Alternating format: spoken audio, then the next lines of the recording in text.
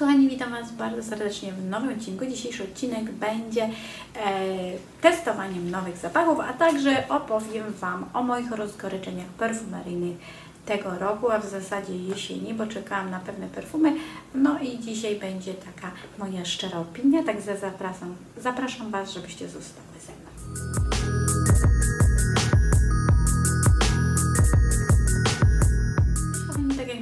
Dzisiejszy odcinek będzie taką szczerą e, e, opinią, e, review and feedbackiem odnośnie pewnych perfum, które mnie rozczarowały, które były na mojej e, must have liście, na takiej bucket list właśnie, chciałam je kupić na pewno. Um, e, o pewnych perfumach już to wspominałam, ale też będzie o nowościach właśnie tutaj gazetowych, e, bo jak wiecie, gazety zawsze obfitują tutaj e, w coś nowego, w perfumy, które są nowe.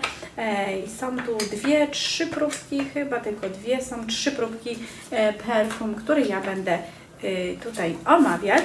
Mm, ale też wspomnę o perfumach, na które czekałam. E, No i jak jedne już gdzieś tam omawiałam, bo też była próbka gazetowa i na jedne mm, czekałam, a jednak wstrzymałam się z zakupem w ostatniej minucie, bo jednak nie wiem, czy to są e, warte uwagi perfumy. No ale dzisiaj o tych nowościach gazetowych. E, pierwszym zapachem, jak sobie tutaj przechodzę przez gazetę, jest piękny e, zapach Parfum de Eau, czyli ta wersja bezalkoholowa. Słuchajcie, ja poświęciłam tej, temu zapachowi e, całe dwa odcinki. Jest on cały czas na mojej super liście. No coś przepięknego. Dokładny opis. E, jak widzicie w tej próbce za dużo nie ma. A czemu? Bo ona jest taka trochę mleczkowata. Jest e, biała. Jest to jak nektar. Słuchajcie, wygląda jak nektar. Przepiękna, bezalkoholowa wersja. Moje, moja, moje review, moja opinia o nim się nie zmieniła. Jest przepięknym, esencjonalnym zapachem, który się trzyma skóry. Sprawdzałam też, słuchajcie, na ubraniach raczej nie powinien powodować plam, ale to zależy jaki to jest materiał.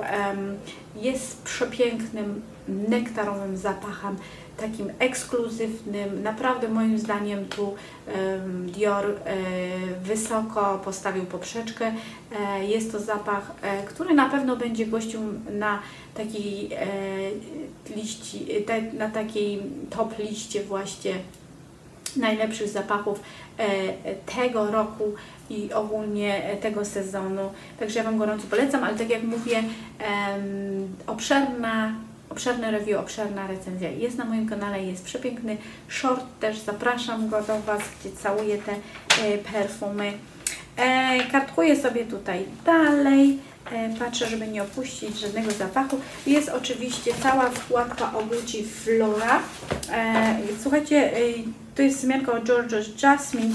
E, Ja go wąchałam i powiem szczerze, że mm, no te zapachy, które ostatnio startują, które są lansowane, jakoś e, nie dają takiego wajbu i taki nie zachęcają do zakupu, może tak powiem od razu. Nie jest to coś, jest coś takiego wtórnego, co niekoniecznie mnie tutaj jakby kieruje w stronę zakupu, dlatego mimo pięknych butelek, bo są dwa takie piękne zapachy, nie zdecydowałam się na zapach, one są dość drogie, więc też tu nie ma sensu, jeżeli nie jestem przekonana, ale tak jak mówię, może będą to zapachy drugiej e, szansy, kto wie. No i tutaj jest wkładka następna zapachem Sea Giorgio Armani. Tym razem to jest wersja, słuchajcie, taka bardziej skoncentrowana. Więc ja sobie ją tu e, rozmasuję na dłoni. Bardzo lubię czasem te wkładki, słuchajcie, bo wiecie na czym stoicie. Pełna głębokości, wersja słodka, bardzo słodka, konkretna, taka orientalna bym powiedziała, właśnie na tą zimniejszą porę roku. Ja sobie szybko spojrzę, co jest w nutach głównych, e, bo powiem Wam, że na pewno jest jaśmin, e, gdzieś taka nuta waniliowa, e, ale już sobie szybko popatrzę. co tam jest. Um, I um, czy to nie jest czasem ta wersja, a nie jest po prostu C. Pomyślałam, że to jest ten eklat. Tak to wygląda, ale nie jest to podpisane, e, więc ciężko mi powiedzieć, co jest tam w środku. Mm, bo tu mam opis o tym, nie, to jest Eau de Parfum, tak, Eau de Parfum Eclat e, z nutami tutaj e, czarnych porzeczek, bergamotki, róży majowej, e, róży damasceńskiej, białego piżma i wanilii Madagaskar. I ja wyraźnie, słuchajcie, czuję tą wanilę, ale czuję nie bergamotkę, nie różę, chyba że ona jest bardzo skoncentrowana, tylko czuję jaśmin. Nie jest to na pewno zapach dla mnie, jest taki kwiatowo-owocowy, ale bardzo głęboki, bardzo bym taki powiedziała na red carpet, gdzieś tam, gdzie chcemy się wybić i pokazać naszą silną osobowość, to na pewno bardzo bym polecała ten zapach. No i buteleczka jest oczywiście przepiękna, jak to Giorgio Armani, mm, ale ja jakoś nie po drodze mam z tymi zapachami Giorgio Armani, powiem Wam. Nie wiem, a jak wy, wy, wy pewnie kochacie. Ja tak średnio. No i zapach, na który czekałam, ja wąchałam też u siebie w perfumerii. Libre, e, ta wersja właśnie e, New La Parfum, czyli taki silny eliksir, silny lawendowy eliksir, taki właśnie konkretny, dystyngowany. No ja sobie to odwinę i znów powącham, tak, konkretna taka esencja lawendowa, ja ją czuję wyraźnie dla silnej kobiety, tak jak tutaj widzimy właśnie dla takiej eleganckiej, silnej osobowości, która idzie w górę, pnie się tutaj na tej drabinie karierowej. E, bardzo esencjonalny, słuchajcie, jest tak mocny. Ja uważam, że zwykły ten Del Libre jest bardzo mocnym zapachem, ale ten jest bardzo właśnie taki dynamiczny, taki charyzmatyczny, który od razu poczujecie, jak wejdziecie e, gdziekolwiek. Naprawdę ostry. Butelka jest piękna, taka burguńska. E, taka trochę przypominająca właśnie whisky, bourbona, e, słuchajcie, konkretna, piękne, złocone, w ogóle majstersztyk, jeśli chodzi o tą buteleczkę. Ja wiem, że dużo kobiet bardzo e, ją lubi, używa, bo one są esencjonalne, konkretne, dynamiczne i takie właśnie odzwierciedlające jakby e, naszą pasję robienia czegoś właśnie z, z sercem. E, I widzę, że to tyle, jeśli chodzi o tutaj gazetowe nowości, ale ja jeszcze, tak jak powiedziałam tutaj w zapowiedzi, e, chciałam poruszyć temat dwóch zapachów, e, które niestety są moim rozczarowaniem roku. Ja zrobiłam odkrycie chyba właśnie takiej próbki w jednym z odcinków, ja Wam mówiłam, mianowicie są to, jest to zapach mm, Prady Paradox, w pięknej butelce takiej, ni to taka torebkowa, e, bardzo mi się podoba, byłam bardzo podekscytowana, chciałam go mieć, no ale słuchajcie, moje um, rozczarowanie przyszło bardzo szybko, kiedy odkręciłam korek i po prostu pomachałam i powiedziałam, Boże Święty, przecież to przypomina milion innych perfum, przypomina mi trochę Terry Maglera, przypomina mi e, trochę taką, e, takie niuanse, bym powiedziała, um, Elisab też, no i niestety to nie są moje e, zapachy takie ulubione, no i patrzę sobie co jest w tych nutach. E, miała to być jakaś rewolucyjna odsłona e, molekulowa, tu piżma. Dla mnie ten zapach jest taki wtórny, że to na pewno nie jest New Dimension zapach.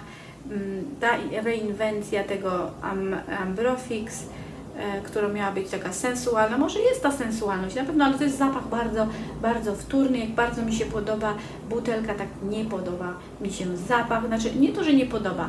Mm, ja nie widzę nic specjalnego. No jest jaśmin sambak, jest neroli, jest tu burbońska wanilia.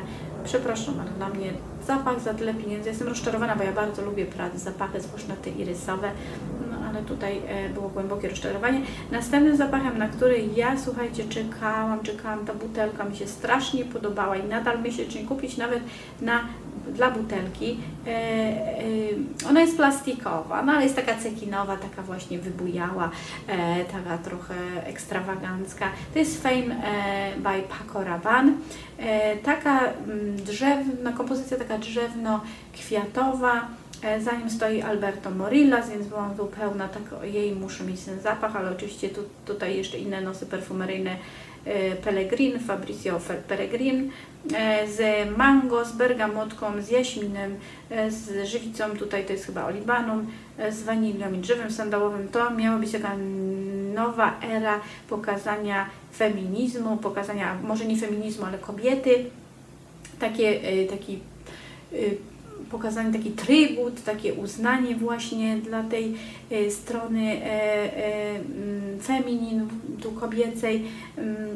No, nadal ten zapach jest bardzo dziwny, bardzo wtórny. Znowu e, te, no, te nuty są tu powtarzane, przetwarzane. Nie jest to nic nowego, co na przykład jak mówię, J'adore e, Parfum de Eau uwiódł mnie, poszli w takim kierunku, e, który mi się podoba. Ten nektar jest e, wybujały, piękny, trwały.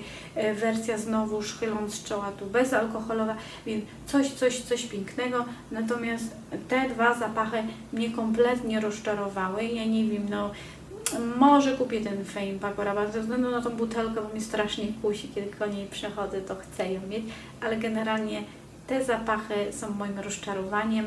Nie widzę żadnego takiego zapachu, który by mnie na tyle przykuł, na tyle zachęcił, żebym kupiła. Wręcz przeciwnie, odwracam się w kierunku starszych zapachów, które może wybyły z mojej kolekcji, miałam je, oddałam albo odsprzedałam, a bym chciała mieć jeszcze raz. E, albo właśnie takie, co, co no po prostu zapomniałam je kupić. E, To by było na tyle w dzisiejszym odcinku. Mam nadzieję, że świetnie się bawiliście. Oczywiście subskrybujcie, mm, komentujcie, powiedzcie jak Wy mm, się zaopatrujecie na sprawę właśnie tych zapachów, które teraz wychodzą, czy które Wam przykuły uwagę, czy któreś jednak skradły Wasze serce. Może ja źle patrzę od innej strony, słuchajcie. No i oczywiście e, szerujcie, lajkujcie, subskrybujcie, rozwijajcie ze mną dalej ten kanał.